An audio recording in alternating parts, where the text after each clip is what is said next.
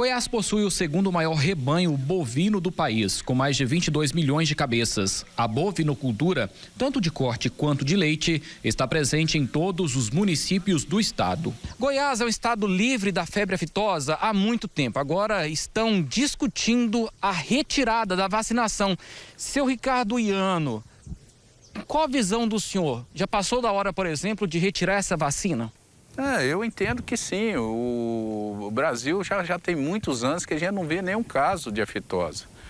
E não justifica mais essa, essa vacinação. Acho que realmente tem que, que, que não se vacinar mais, mesmo por, eh, só que temos que entender que tem que ser todo um grupo, não pode ser o Goiás isolado, tem que ser Goiás, os Mato Grosso, Minas, São Paulo, Tocantins, para que a gente não fique isolado aqui como o, o, o separado desses grandes produtores. Agora, se todo mundo reunir e entender que não se precisa vacinar, eu concordo. Eu acho que já, já passou da hora da gente parar de vacinar o gado. Por exemplo, se é, não for mais obrigatória a vacina da febre aftosa, o pecuarista só tem a ganhar, o Brasil só tem a ganhar, isso pode abrir portas de mercados externos, exportação?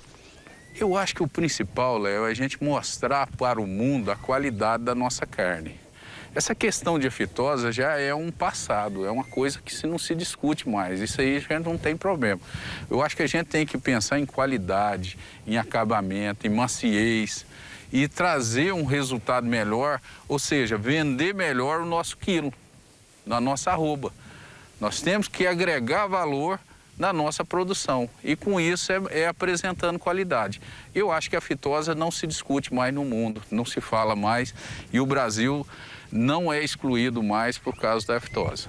Portanto, então, sendo livre é, da, da, da aftosa, sem vacinação, as portas abririam. Como o senhor disse, é, pensar mais na, na, na, finalização do gado, porque o mercado internacional ele é exigente, ele quer uma carne de qualidade?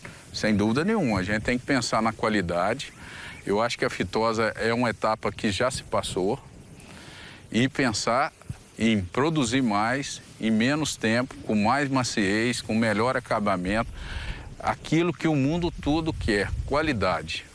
Cliente quer qualidade. Se a gente mostrar isso, nós vamos poder vender melhor o nosso produto e agregar valor tanto ao nosso país como também aos produtores. Aqui no Brasil, a vacinação da febre aftosa é realizada em duas etapas. A primeira em maio e a segunda em novembro. Muitos pecuaristas pensam que a não vacinação vai evitar o manejo, mas o manejo é necessário, né, seu Ricardo? Eu entendo que sim. Nós temos que manejar o gado, o gado tem que ser manso, bem cuidado, para que quando for necessário ser fechado, ele não se estressa tanto. Nós fechamos uns animais e, e tem outras vacinas que tem que ser feito, né? Carbúnculo, vacina é, de doenças reprodutivas, que é muito importante e que tem que ser feito de qualquer jeito. A importância de não vacinar a fitose é só uma questão de economia. Agora, em questão de manejo, ainda continua na fazenda. Isso aí não vai mudar em quase nada. Ah, vale lembrar que somos zona livre da doença com vacinação. Agora, os estados de Goiás, Mato Grosso, Mato Grosso do Sul, São Paulo, Bahia, Minas Gerais, Espírito Santo, Rio de Janeiro, Sergipe e Tocantins, além do Distrito Federal, querem que a vacina deixe de ser obrigatória. Esse é o objetivo do plano estratégico do Programa Nacional de Vigilância para a Febre Aftosa. Estes estados formam um bloco 4 e tem mais de 60% de todo o rebanho bovino e bubalino do Brasil, com mais de 130 milhões de animais. O prazo inicial do Ministério da Agricultura, Pecuária e Abastecimento era suspender a vacinação da febre aftosa em 2021, mas por causa da pandemia do coronavírus, esse prazo foi prorrogado e agora será em 2022. Para Marcelo Penha, analista técnico do IFAG, o pecuarista só tem a ganhar com a zona livre sem vacinação. O pecuarista, com a retirada da vacina aftosa, ele tem ao meu ver, dois ganhos diretos.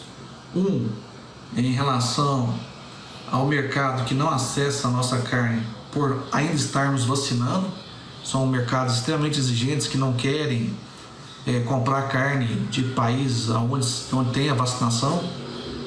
E o segundo seria a possibilidade de ter um valor agregado maior dessa carne por estar numa, numa área livre de febre aftosa. Então, sem vacinação.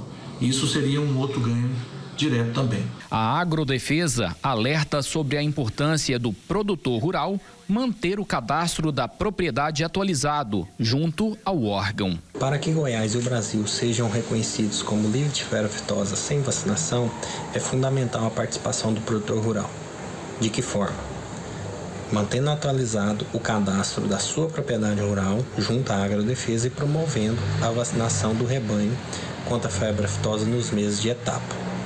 Segundo, participando de eventos na sua região ou município para se manter atualizado sobre o andamento do plano e atividades do Programa Nacional e Estadual e Estadual de Febre Aftosa. Terceiro e não menos importante, notificar a agrodefesa qualquer suspeita de animal doente em sua propriedade para que o médico veterinário da agência faça a investigação dessa possível enfermidade.